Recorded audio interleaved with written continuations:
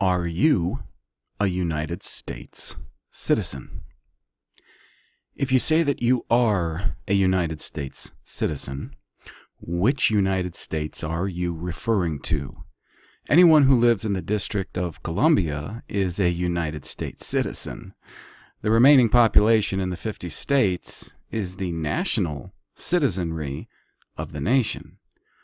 We are domiciled in various sovereign states, protected by the Constitution of those states from any direct rule of Congress over us.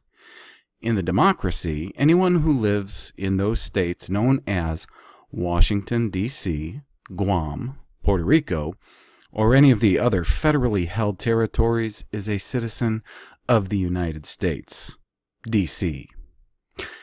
We must be careful with our choice of words. We are not citizens of the United States. We are not subject to Congress.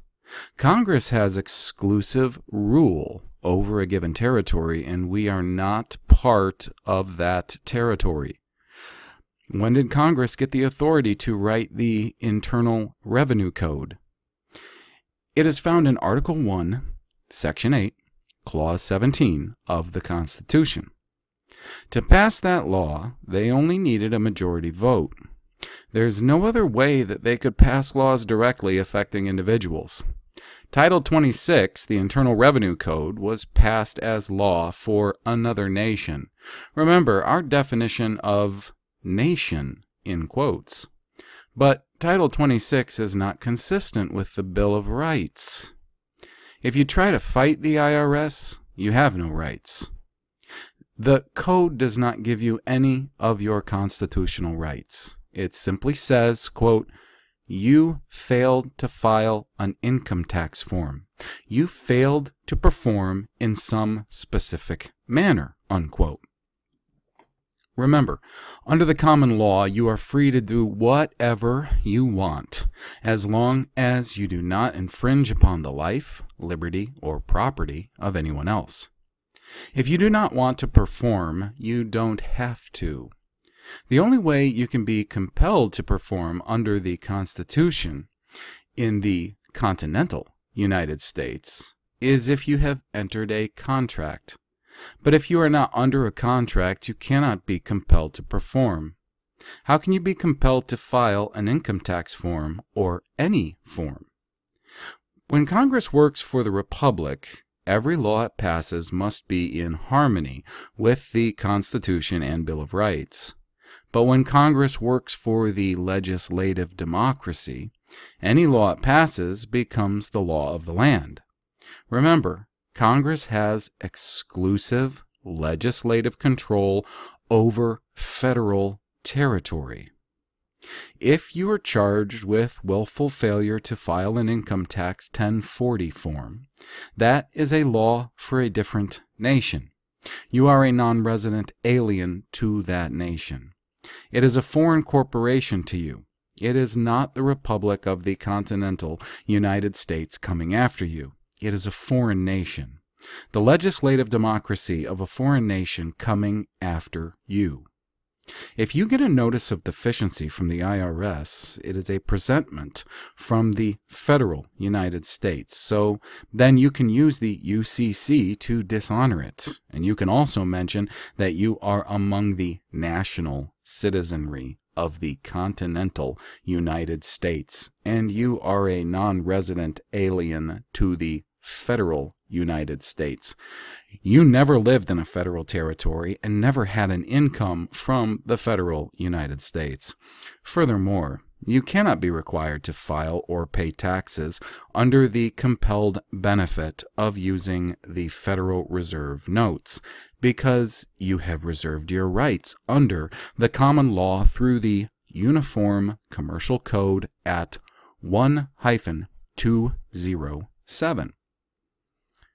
Original intent of the founders.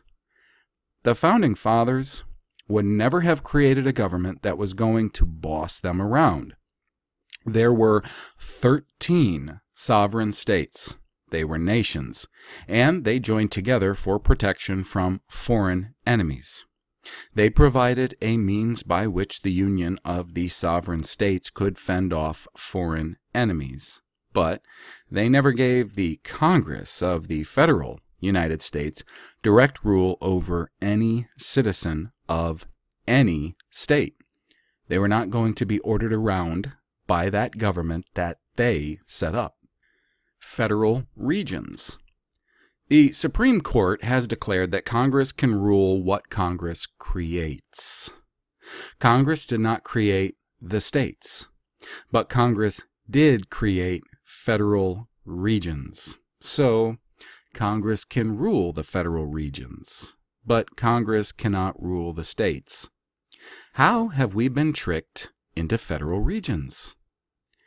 The zip code trick. Remember how the government always comes to us and says, quote, I'm from the government, and I'm here to help you, unquote. The government went out into the various states and said, We don't want you to go to all that trouble of writing three or four letters to abbreviate the name of the state, such as ARIZ for Arizona. Just write capital A, capital Z, instead of capital A, lowercase riz. Or you can just write capital W, capital Y for Wyoming instead of capital W, lowercase yo. So all the states of the Union have got a new two-letter abbreviation. Even a state such as Rhode Island has a new abbreviation. It is capital R, capital I instead of capital R dot capital I dot. They've just left off the periods. When you use a two-letter state abbreviation, you are compelled to use a zip code. Because there are so many states, for example, which start with M, ME is Maine, MI is Michigan. How many people dot every I or make an I that looks like an E? With capital MA, capital MO, capital MN, capital MS, etc., and some sloppy writing, you couldn't tell one from another. So we have to use the zip code in order to tell them apart. But if you wrote capital M lowercase ich or capital M lowercase inn or capital M lowercase iss, there would be no real problem telling which state it was. There's no harm in using the zip code if you lawfully identify your state. I found out that no state legislature has met to lawfully change the abbreviation of the state from the old abbreviation to the new. Uh, therefore, if you do not use the lawful abbreviation for your state, but use the shorter new abbreviation, you have to use the zip code. Look on page 11 of the zip code directory, and it will tell you that the first digit of your zip code is the federal region in which you reside. If you use capital A, capital Z for Arizona, you cannot use the state's constitution to protect you because you did not identify your state.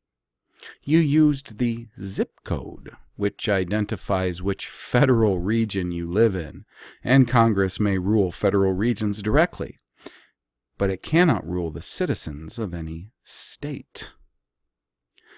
Accommodation Party.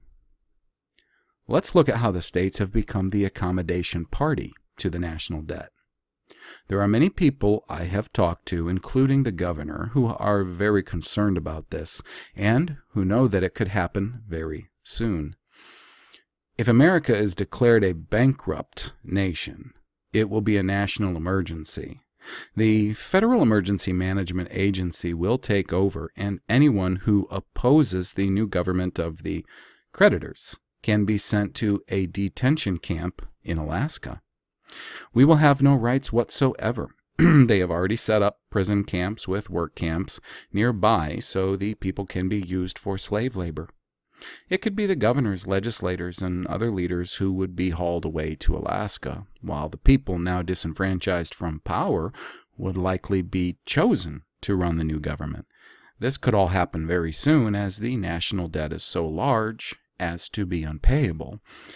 Even the interest on the debt is virtually unpayable.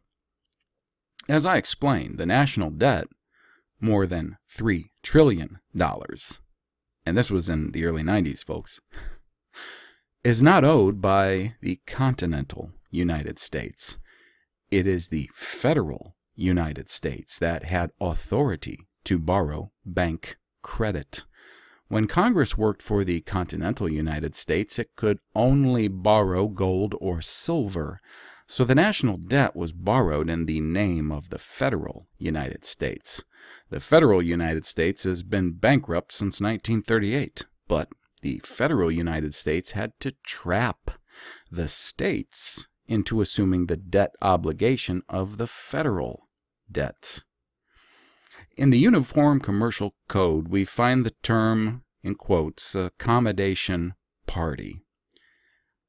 How did the states become the accommodation party to the federal debt?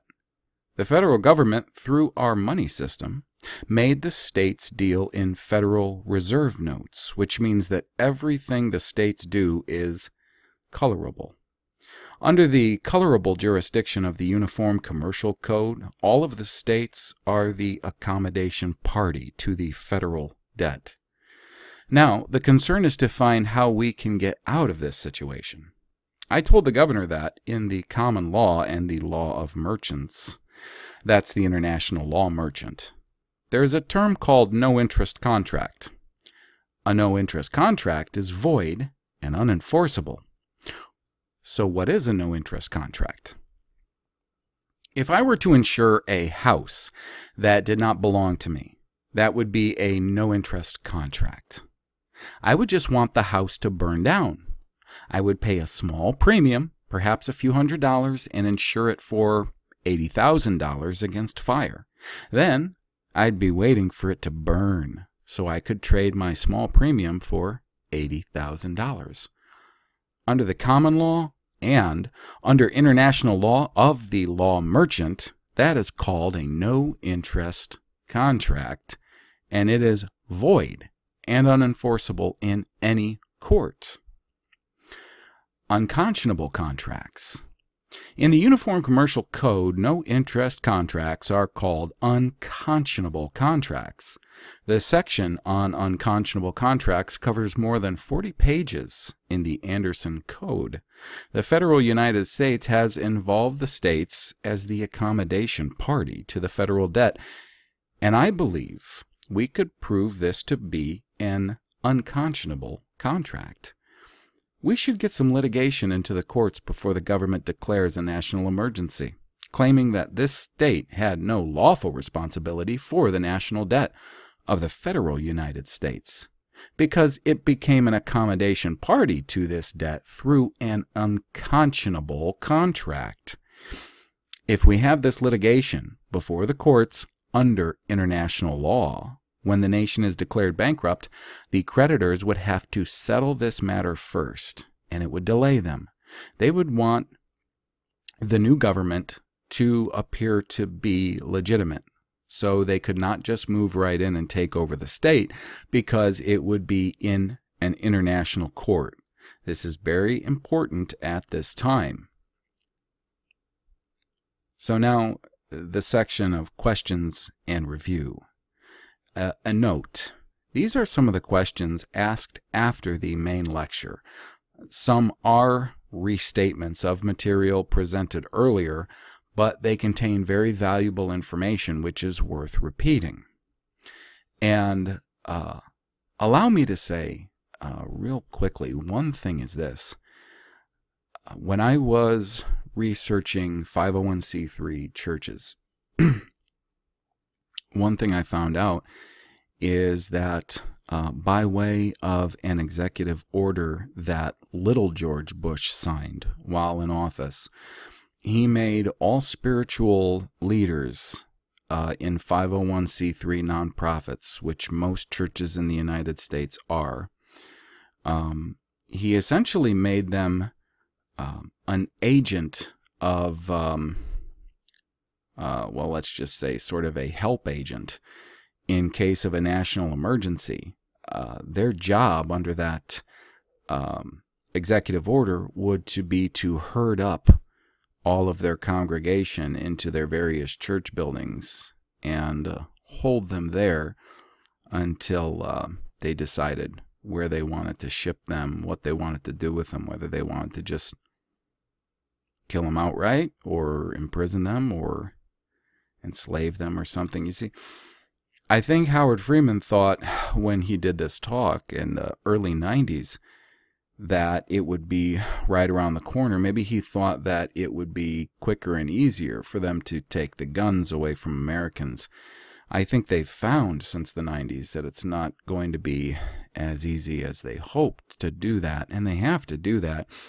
If they don't do that, they're going to have an all out war on their hands.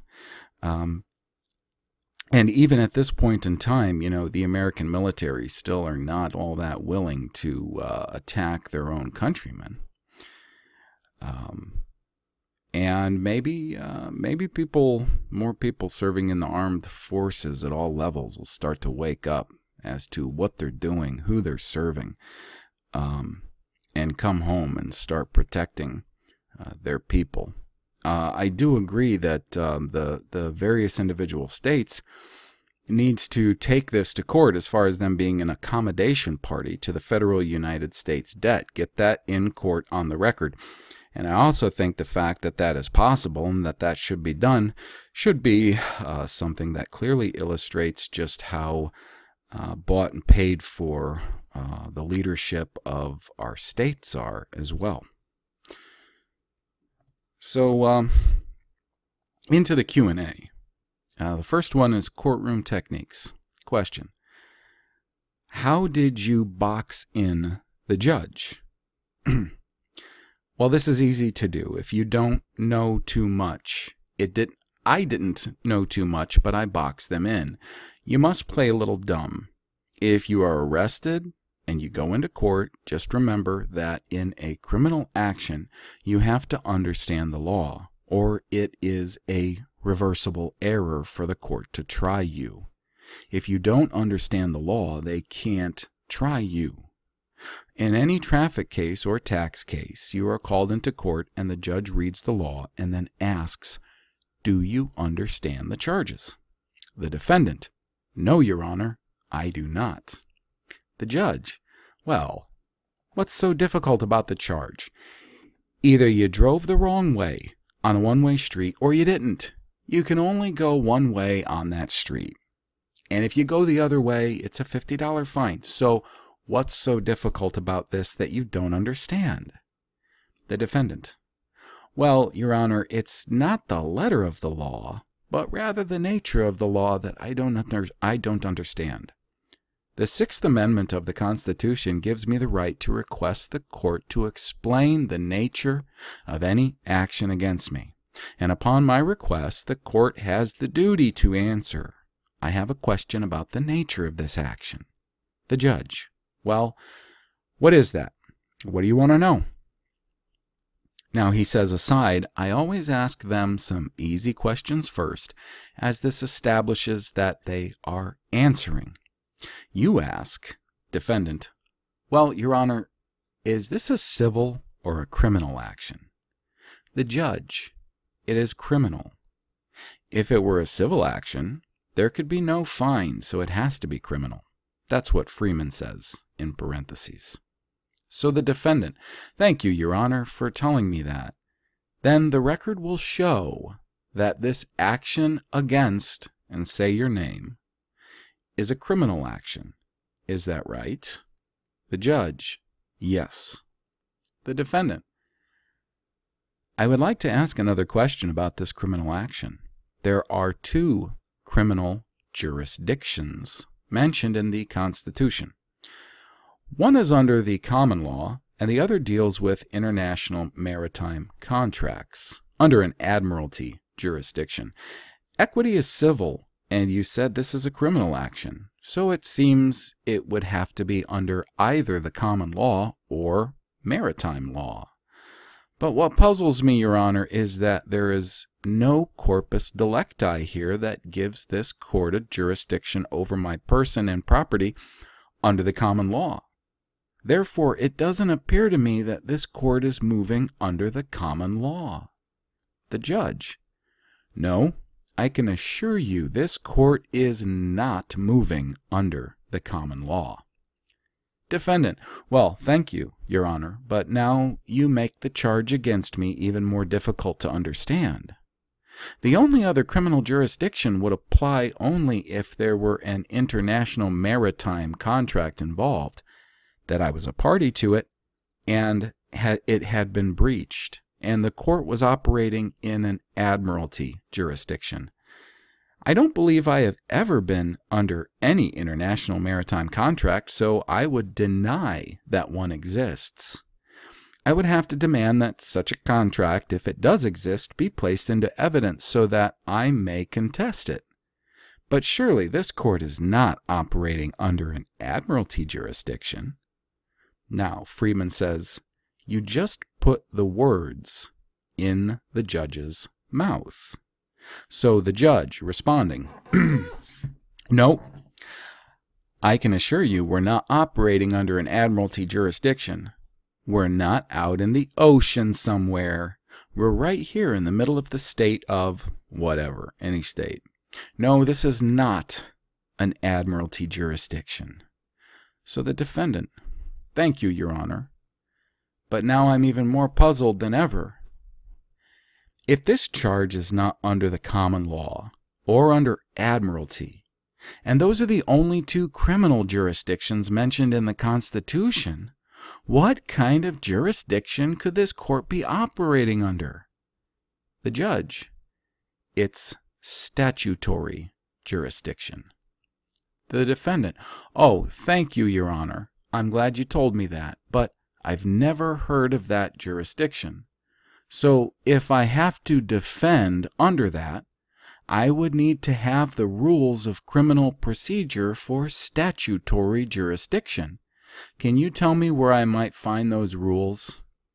Now, Freeman says to the side, there are no rules for statutory jurisdiction. So the judge will get very angry at this point and say, if you want answers to questions like that, you get yourself a licensed attorney. I'm not allowed to practice law from the bench. Defendant. Oh, Your Honor, I don't think anyone would accuse you of practicing law from the bench if you just answer a few questions to explain to me the nature of this action so that I may defend myself. Judge. I told you before, I'm not going to answer any more questions. Do you understand that? If you ask any more questions in regard to this, I'm going to find you in contempt of court. Now, if you can't afford a licensed attorney, the court will provide you with one. But if you want those questions answered, you must get yourself a licensed attorney. Defendant, thank you, Your Honor. But let me just see if I got this straight.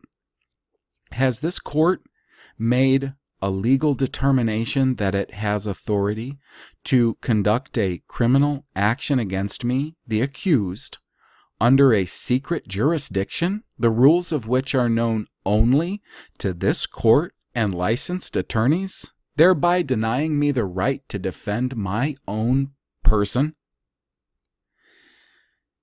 He has no answer for that. The judge will probably postpone the case and eventually just let it go.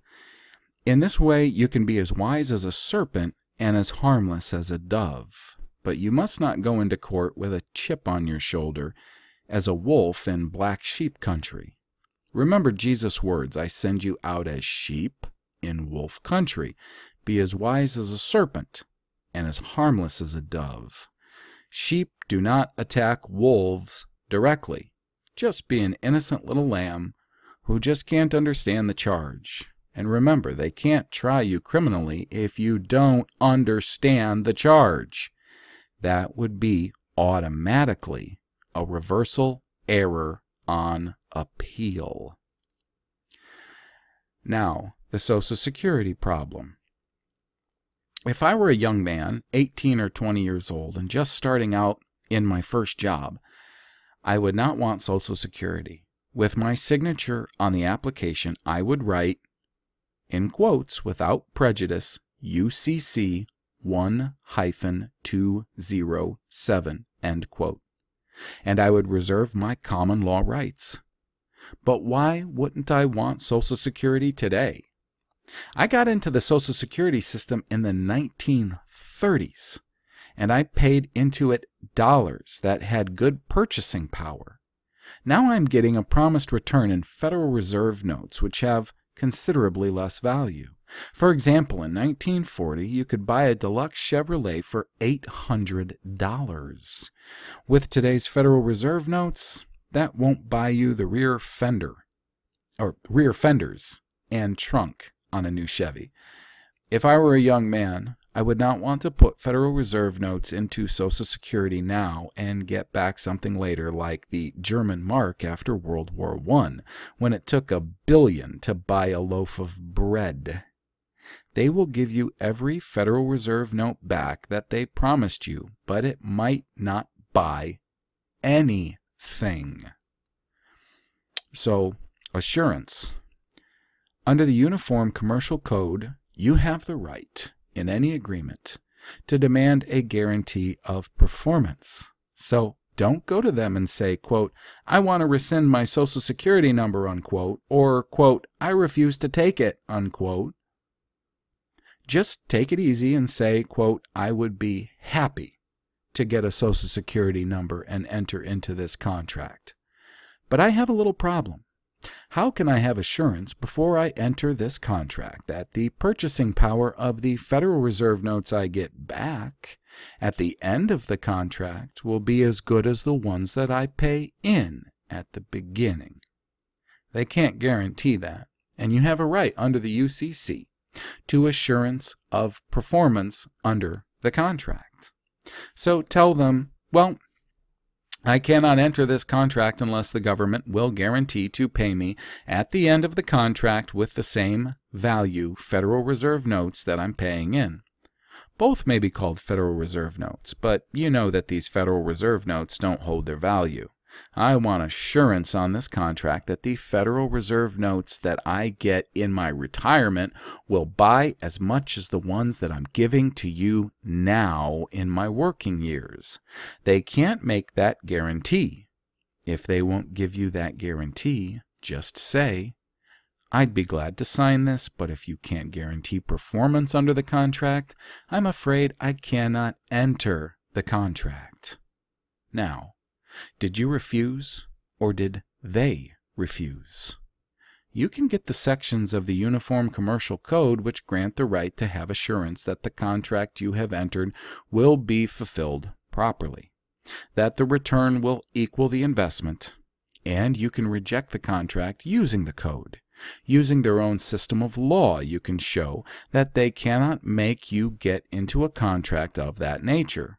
Just approach them innocently like a lamb it is very important to be gentle and humble in all dealings with the government and the courts. Never raise your voice or show anger.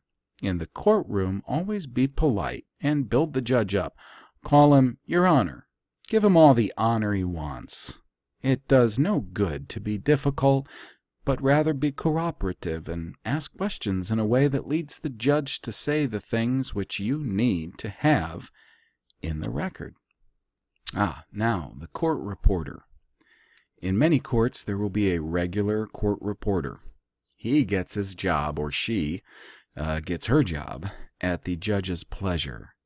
So he doesn't want to displease, or she doesn't want to displease the judge. The court reporter is sworn to give an accurate transcript of every word that is spoken in the courtroom. But if the judge makes a slip of the tongue, he just turns to the court reporter and says, quote, I think you had better leave that out of the transcript. Just say I got a little too far ahead of you, and you couldn't quite get everything in, unquote. So, this will be missing from the transcript.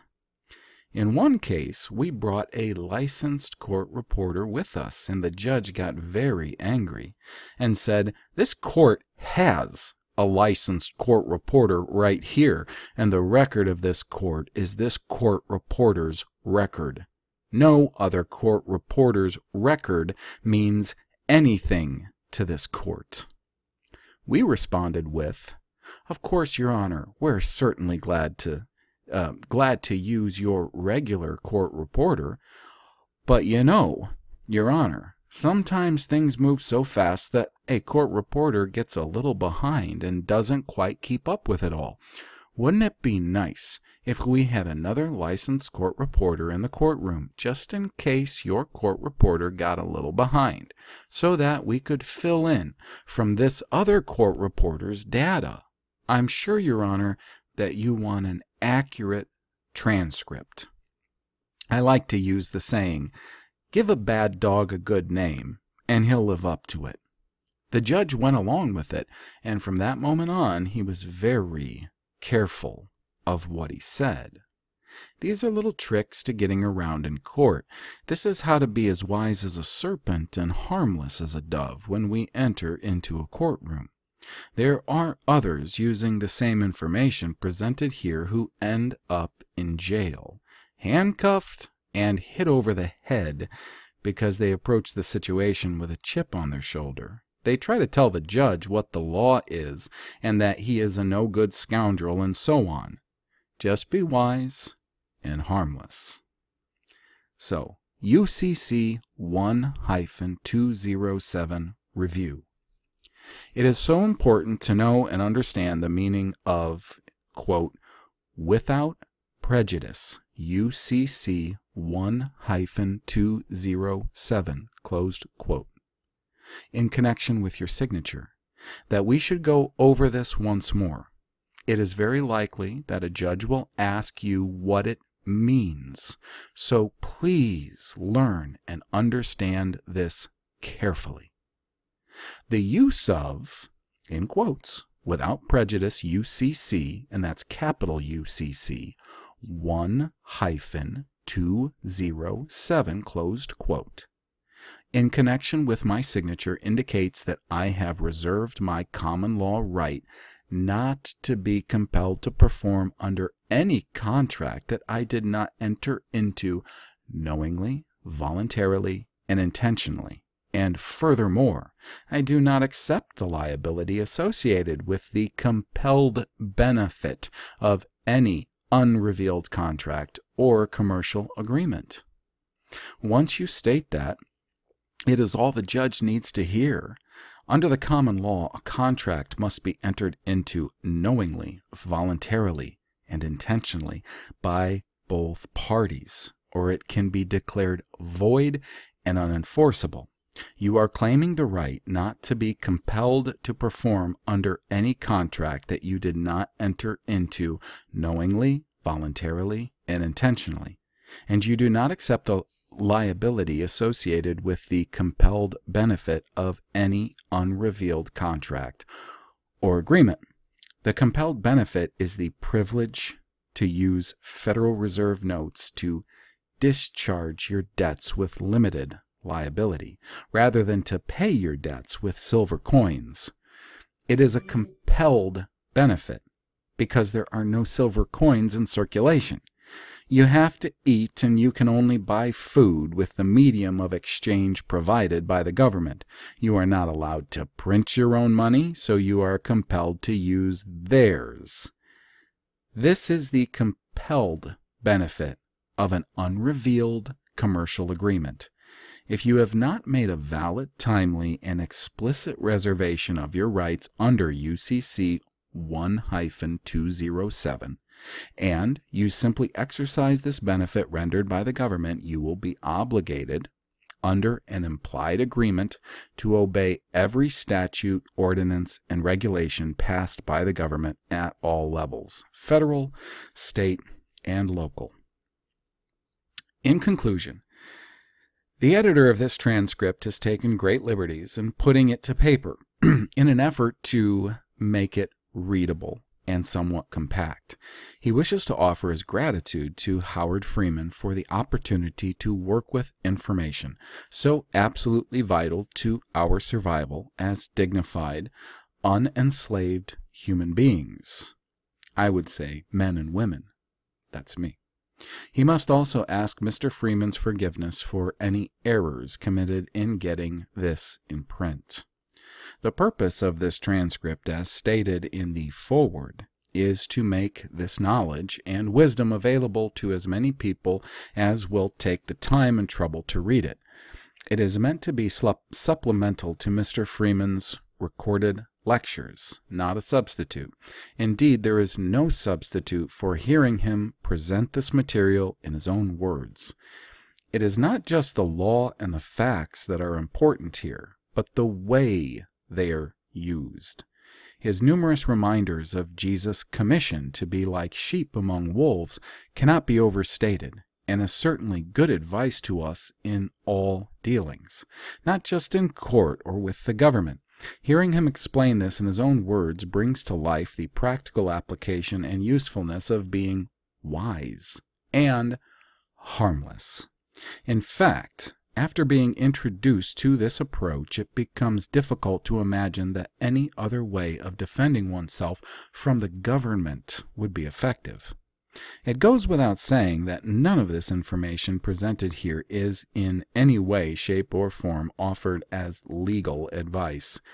For that, as you know, you must, quote, get yourself a licensed attorney.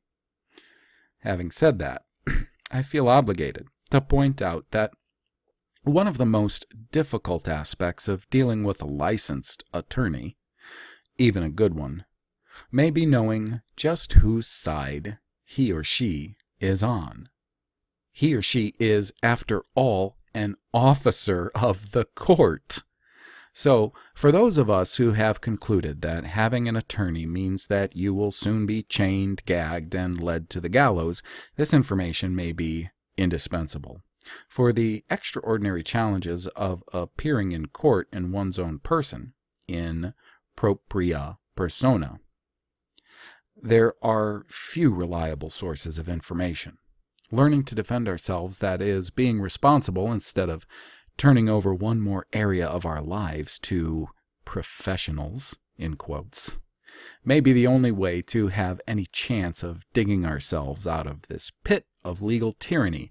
Perhaps the greatest problem we face in education today is the matter of widespread legal illiteracy. Naturally, there will always be a number of people who just don't care about these issues, who either 1. have a soft life, which is supported and maintained by this secret system of law and the institutions which have grown up around it.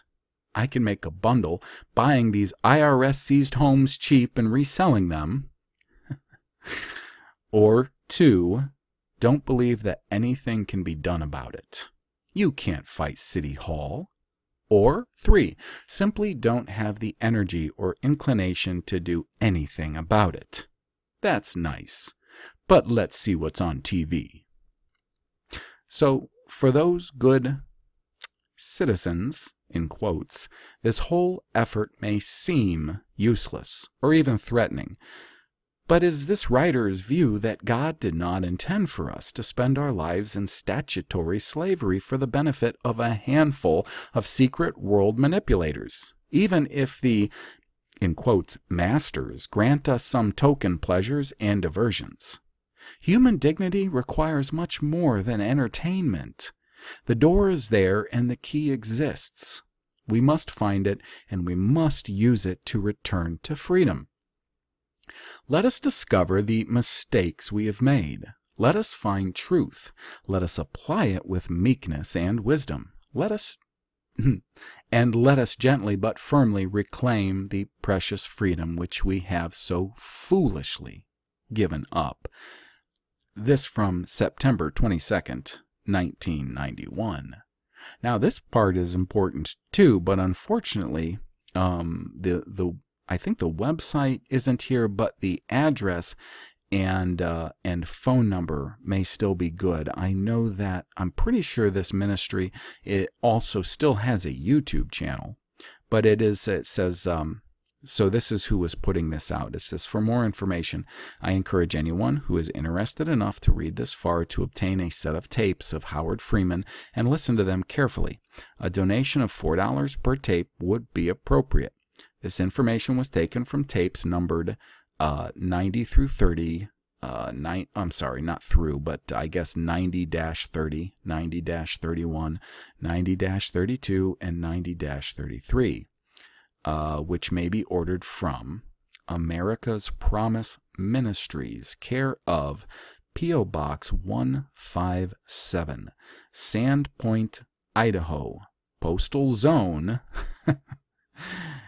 86864 TDC. Now, I don't know the difference between them putting in postal zone as opposed to a zip code. That's strange. But I don't know nearly as much as Howard Freeman does about these things, but hopefully there's time and all of us can work at these things and share information together. I think that's one of the greatest beauties of, um, you know, um, things that are, are meant to harm us more than anything, like YouTube and, and a lot of the social media online. There is a phone number. It's area code 208-265-5405. Um, so, anyways, and there's uh, a little bit more information on this. Uh, this document, uh, this document can be gotten at, uh, I think I mentioned it, or, or I didn't. I definitely put the uh, link in um, from archive uh. And so he does go on just a few footnotes here at the end. Okay. Footnote one colorable, that which is in appearance only and not in reality.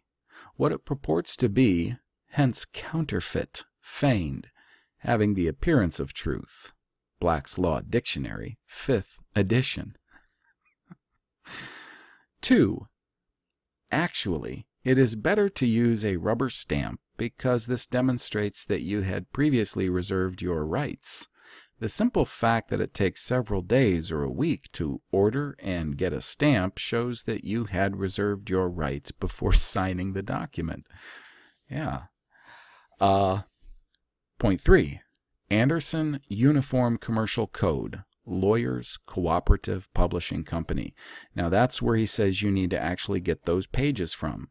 If a library has Anderson's Uniform Commercial Code, and um, um, I read that uh, in part one of these two videos. So get it from Anderson. Uh, I'm going to be looking for that myself uh, to get those pages copied.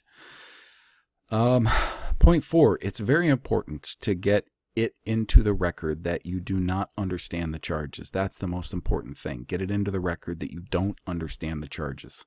With that in the record, the court cannot move forward to judge the facts. It cannot. This will be covered later on page 19. Uh, for more about this, see, page 18. Um, and that would, I guess, be in the uh, UCC. Um, Okay, so point six, UCC 3 415. It is the uh, accommodation party in quotes. One who signs commercial paper in any capacity for the purpose of lending his name to another party to the instrument, such as a party is a surety. And in parentheses, surety one who undertakes to pay money or to do some other act in the event that his principal fails therein. Parenthesis closed. And point seven. CUCC 1 201. General definitions. 3. Quote, uh, agreement means the bargain of the parties in fact as found in their language or by implication from other circumstances including courses dealing or usage of trade or course of performance. And that concludes the written portion of this document. Now, also in this document are a number of um, document blanks that one can use in uh, legal and lawful proceedings. So again, uh, follow the link that I left on the first portion of this video, and I'll leave it on this uh, because it's just full of full of very good tools. There are also hyperlinks uh, that you can go to from opening this in Acrobat or maybe other programs. That will give you other um, audios by Howard Freeman, uh, and I believe some of these are also other text documents uh, from Howard Freeman. Uh, very good stuff. Anything you can get from Howard Freeman is pretty valuable. Now, I know a lot of people have so far, and will probably continue to for quite some time, come to either the first or this video, um, and maybe other videos I'm able to make in which I'm just reading from uh, transcripts of Howard Freeman, or maybe others that share similar points of view as he does. Remember something. There are actually a lot of guys out there who are are very they're smart, they're well informed, they know the law, they understand contracts. Um, there's one channel I started listening to recently. I think it's uh, the channel's called I'm a Free Man. It's a guy from California, and he explains a lot of things um, that are kind of difficult for most people to understand, and most people don't understand. And I recommend all of us spending at least a certain amount of time uh, getting to understand the law. What is really the law? What is the law as the law should stand? And what does it mean to be lawful? And who are you really? Okay, there's either the thing that they have turned us into, unbeknownst to us, and there is the thing that you are really. Um, I would suggest people find out what and who they are really, and spend a good uh, amount of time trying to get to know how you can maneuver in the system we find ourselves in today. I know a lot of people, when they come to this understanding of how things are, how we've been tricked, the way things are, and how, um, like the transcriber said at the very end concerning, you know, the different people and what their excuses would be, we're going to find that most of the people around us don't want to do jack about this. They're either lazy and um, they're comfortable or content, or like you said in point one, a lot of them are actually making their livelihood and a very comfortable one at that off of this system. The real sick part is a good deal of these people are the people who are inhabiting your church buildings, not only the parishioners, but the clergy. And that's one of the really angering and scary parts to all of this. And you need to be aware of this. And um, if you're anything like me, when you start becoming aware of this, um, you're probably going to be very angry. And uh, you might not know how to cope with that because I had a hard time even believing it. I mean, how could so many people be uh, professing to be Christians, which, you know, like Freeman said over and over in this document, were to be wise as serpents, but harmless as doves? And the, the vast majority of, of people in the whole world today that profess Christianity are just the opposite. They are as wise as doves and as harmful as serpents. So I could understand having a very strong reaction to this. I think a lot of the advice that Freeman gives is very good advice. I know that a lot of people would have different opinions on how to go about things. Um, some people are involved in this sort of sovereignty uh, movement, which is completely disassociating uh, with anything having to do with the federal United States. And I'm beginning to understand that and what that means. I, there are many different points of view but the one that I think has the most wisdom concerning what Freeman says is not going into court or trying to deal with a policeman in this way where you have a chip on your shoulder and you know the law and you know your rights and that's going to make everything go well and make them behave the way they're supposed to because that's not the way the world is that's not the way the world works and that's not the way that evil people work. And you know it and I know it. So I would just encourage everybody to to use that wisdom to their advantage. So uh, until next time I hope this really uh, empowered everybody. All right. God bless you.